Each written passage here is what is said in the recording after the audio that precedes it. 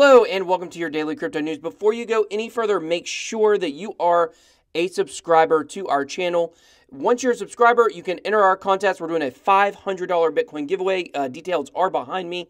All you've got to do is like and comment on any of our videos between July 1st and August 31st to get one entry, but you can enter on every single video. So we're picking eight winners. Uh, love giving back to the community. Big shout out to the Bit Squad, everybody that's been engaging with our content, liking, sharing the whole nine yards. So let's jump in today to the news. The market is up. Praise the Lord. We had a big pump on Friday night, hovered around 6,400, and then today we were able to go up a few more hundred dollars for Bitcoin. The market cap went up about $10 billion from yesterday. Right now, the market cap is sitting at $270 billion, and Bitcoin dominance has begun to fall. Still in what I consider a danger zone, 41.9% for altcoins. Um, we really want that number under 40%. The lower that number drops, with the increasing market cap, that's really good for those of you guys like myself who are hoping for an altcoin season. So, uh, Bitcoin right now is sitting at 66.14. It has been able to uh, to stay there pretty much all day. I think it was at 65.90 at some point. Um, it was a little bit higher than this, approaching 67. Uh, let's check out the chart real quick for Bitcoin.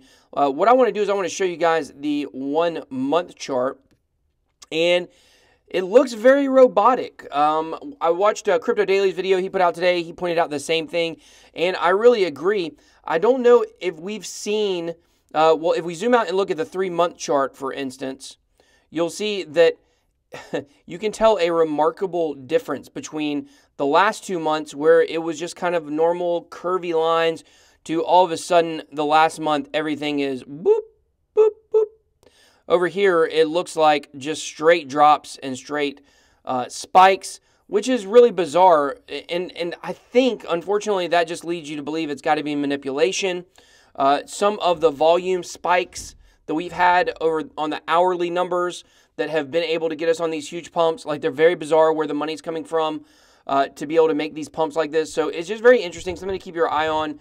Uh, it's it feels like, and I could be wrong on this. It feels like that the price has been manipulated downwards for a long time, and maybe it's kind of like where uh, the institutional money is releasing the hold because now they're trying to manipulate the price up. I don't know if that really makes sense to you, but that's kind of what I'm thinking is going on. I hope we're not in a bull trap, but the spike today combined with the spike on Friday night, it does look like we could be seeing a trend reversal, uh, which obviously I think we all want to see.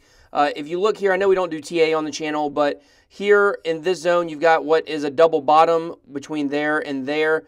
And just like we talked about with our minor conspiracy theory, that once it gets under $6,000, it shoots right back up. So it's very interesting uh, times in Bitcoin right now. I've seen a lot of technical analysts say they don't even really know what's going on right now. Nothing the market is doing is making sense. And that, in my mind, lends to uh, believe that it is manipulation. Okay, so this, keeping along with the theme, uh, this is at BitMEX Rekt on Twitter. If you follow this, this is basically a bot that displays every time people get liquidated. And usually it's not this much. As you can see, a lot of people got liquidated when they were shorting Bitcoin um, at $6,519. And a lot of people got wrecked. And honestly, uh, no offense to those people, I hate that they lost money. But if you are a long-time hodler, this is what you want to see. You want to see people get crushed for shorting Bitcoin. You want to see people who are longing Bitcoin uh, and betting on the price to go up to get rewarded. But we've seen this before with people shorting Bitcoin. It doesn't seem to stop people from doing it when we're in a bear market, obviously, but hopefully we are reversing that trend. So just to reiterate everything we've already been talking about, but a lot of people were wondering, was Friday night a dead cat bounce? Now, it sounds like exactly what it would be in real life. If you dropped a cat that was dead, it would hit the pavement and it would bounce. And I don't know if it would literally bounce, but you kind of get the idea. But it would still be dead. It would if you dropped it from high enough, it would bounce when it hit the ground, but it was still dead. And that's kind of the idea behind a dead cat bounce, which is when you're in a super bearish market and the price jumps up, but the price is really dead. And so it's really just smoke and mirrors where it's a bounce and it's going to go back down. Um, uh, you can think kind of a Bart Simpson where the price goes up and then goes back down uh, shortly thereafter.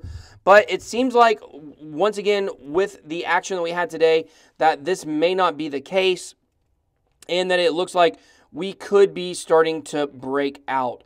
Which I'm telling you, I am so tired of making news videos that are negative. I can't wait for us to get back going bullish so we can have positive news. Even back in April, it was a lot more fun making news videos because uh, a, a, lot of the news was good. So hopefully, um, you know, that's where we're moving towards. So speaking of good news, we have Coinbase Custody is officially open for business.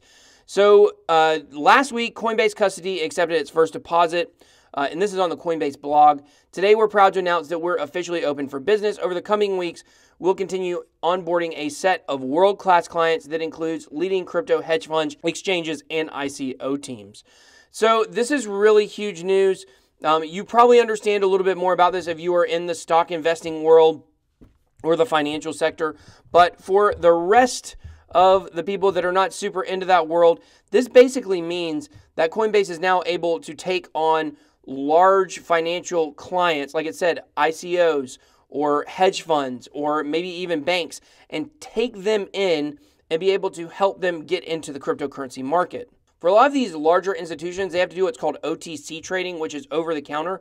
Because if you are a hedge fund manager of a $17 million hedge fund and you want to invest part of that hedge fund into cryptocurrency, you can't go to Coinbase and make a $1 million deposit. That doesn't make sense. So, what happens is the people that are wanting to invest larger amounts of money, they do it through other means. So they contact people directly, maybe. And those people that they contact, let's just say those people are holding a ton of Bitcoin, they will actually sell the Bitcoin to those institutions at a much higher number than it's being traded for because the people that are investing will take the trade off to buy it at a higher number to be able to get all their money in at one time because eventually they believe the market is going to go up. So People estimate that there is possibly $10 billion or more just sitting out there waiting to get into crypto. I personally think it's probably a lot more that have not really had an avenue. So now that Coinbase custody is officially open, this is going to appeal to a lot of higher end clients, not the average trader like you or I. Uh, and this is where a lot of institutional money will hopefully come in and push the price up. Okay, let's check out some altcoin news. The Byteball wallet is now available. We just talked about Byteball a couple weeks ago in a news video about how their team had kind of came out of the shadows, if you will. And now you can actually download the app from the App Store. But here's the catch. What they say is that this is really just updated for the latest version of iOS. And if you have an older version, uh, or maybe if you have an older phone, that they don't expect it to work perfect. Basically, what they're saying is just they're going to continue to improve the project and the product of the wallet. So don't think if you download it, it's a finished product because it's not. It should be secure and it works, but it's not ultimately what they're going to end up going with. So, Ethos, uh, speaking of wallets, if you guys watched our Ethos review video of the wallet, uh, I was part of the testing program. I was very honored to be part of that. I mean, they didn't choose me. I just filled out an application. I got picked, but um, you know, I was still honored. and uh, now the wallet is going to be released in the Netherlands for the Android App Store, and the Apple iOS version will also be coming soon. We're starting to see a lot of wallets come out for mobile devices, which is so exciting because that is the chat, uh, the channel or the avenue by which the mainstream is going to use crypto. It's going to have to be on a phone. Most people are not going to go on a desktop computer and download a wallet. But this is big news for Ethos as they just continue to get their project out there, which is really great. Uh, Neblio. So we this is one we haven't actually looked at in depth. Um, it is one that's kind of on my list, kind of down on the list though. Hopefully, I will get to it at some point.